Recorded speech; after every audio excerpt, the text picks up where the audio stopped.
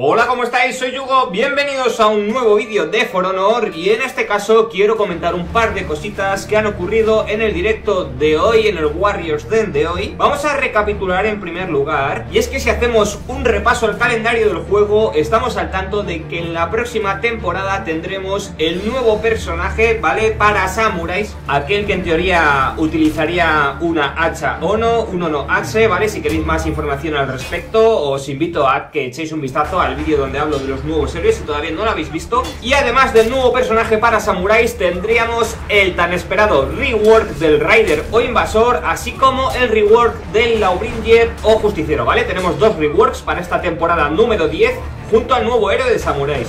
Hasta aquí todo correcto. Pues bien, vamos a echar un vistazo al calendario de lo que queda de temporada hasta esta temporada número 10 y nos damos cuenta que tenemos marzo, ¿vale? Pues eventos de loot extra, el challenge de ejecuciones, nuevas misiones de PvE, ¿vale? Para todos aquellos que tengan la expansión de Marching Fire y luego tendríamos parte de abril como final de temporada, ¿vale? Y luego ese espacio que se suele dejar entre temporadas, ese espacio muerto y a final de mes, ¿vale? La semana de acceso anticipado para el nuevo héroe este caso el de Samuráis. Y ya en mayo arrancaríamos con la temporada nueva todos nosotros. Pues bien, ¿qué ocurre? Que durante este mes, mes y pico, ¿vale? Un mes largo, eh, parece ser que el contenido que vamos a tener en For Honor va a ser más bien escaso. Imagino que tendremos que ir tirando hasta el final de la temporada con nuevos outfits, misiones PvE sin mayor relevancia ni importancia, tal vez algún emote irrelevante, nuevas ejecuciones, ojalá, pero también es muy probable de que no. Y en parte aquí llega el descontento por parte de la comunidad, ¿vale? Y es que he estado presente en el directo de hoy, ya sabéis que tengo la manía de ver los directos de Warriors Den y es que ha sido todo un poco miga, o sea, no se ha dicho nada en el directo, no se ha hablado de ninguna novedad. Ya sé que este tiempo atrás, ¿vale? En mi ausencia, pues digamos que siempre que no se sacaba contenido nuevo, esta ha sido la temática habitual, ¿vale?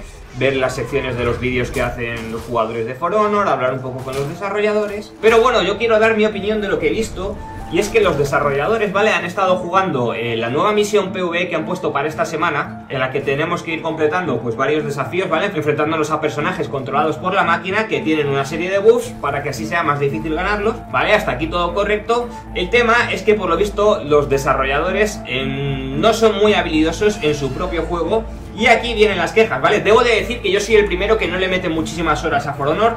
Ya sabéis que con suerte pues suelo jugar dos, tres partidas a la semana, pero bueno, eh, lo suficiente pues para ir recordando las mecánicas, no ser un paquete absoluto, ya digo que no me considero un jugador aquí proaso ni un buen jugador, pero bueno, lo suficiente pues para saber defenderme, ¿no? Y dar un poquillo de guerra. Pero lo que estaba diciendo la gente en el chat de directo es que los propios desarrolladores no conocen su juego, entonces ¿cómo, cómo leches van a sacar opiniones del producto que están presentando? ¿Cómo van a balancear en condiciones su juego si no le dedican horas a ello? Por lo que ha llegado un punto en el que han empezado a ver pues un aluvión de mensajes, ¿vale? Criticando pues a la habilidad del propio equipo de desarrollo del juego y el moderador o los moderadores de turno del chat pues se han dedicado a estar eliminando mensajes durante varios minutos tal que pues a lo mejor se veían dos mensajes y luego cuatro mensajes seguidos eliminados, otra vez se veían tres o cuatro mensajes, otros dos o tres mensajes eliminados. Como ya digo, he estado un tiempo fuera de juego, por lo que no sé cómo han sido todos los directos de este año pasado, pero bueno, me ha llamado bastante la atención. Sí que es cierto que siempre hay una o dos personas tóxicas en toda comunidad de videojuegos, pero bueno, yo recuerdo que al inicio de For Honor se tenía bastante en cuenta la opinión de la comunidad, la opinión de los jugadores y así se iba mejorando. Así que bueno, pues la gente estaba intentando demostrar un poco su descontento, pues en temas de la falta de contenido, en temas de balance de Black Prior, que por ejemplo pues eh, todavía no le han ajustado el héroe como es necesario, se dedican a sacar emotes, las nuevas mascotas, han reciclado un poco los vídeos que utilizaron para el Warriors Den de la semana pasada en cuanto al nuevo contenido, que todo va muy lento, que no se hacen cambios, no se habla sobre el famoso data de siempre, y bueno, pues la gota que ha colmado el vaso ya ha sido ver a los desarrolladores jugando y que al parecer pues la verdad estaban un poco verdes en su propio juego. Tengo pendiente un par de vídeos más adelante en los que me gustaría hablar más a fondo sobre For Honor,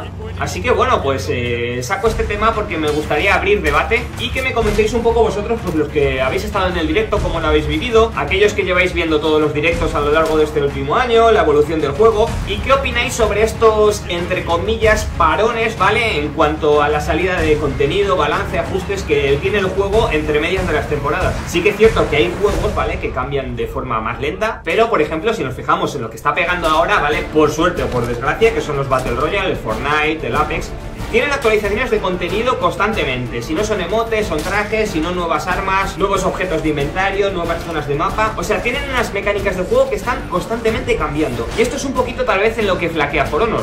Así que nada, gente, hasta aquí este breve vídeo de hoy en el que os quería comentar mi experiencia en el directo de hoy, la opinión de la comunidad al respecto, el descontento demostrado por parte de esta comunidad. Espero que os haya gustado el vídeo, espero que me dejéis vuestra opinión, así como también vuestro like para más contenido de For Honor en el canal. Suscribiros si no estáis suscritos para no perderos nada relacionado con este juego. Cualquier cosa ya sabéis que aparte de dejarlo aquí abajo en la caja de comentarios, lo podéis hacer también a través de mi Twitter, arroba yugogames con 3 Y. Y dicho todo esto, me despido y nos vemos en el próximo vídeo. Adiós.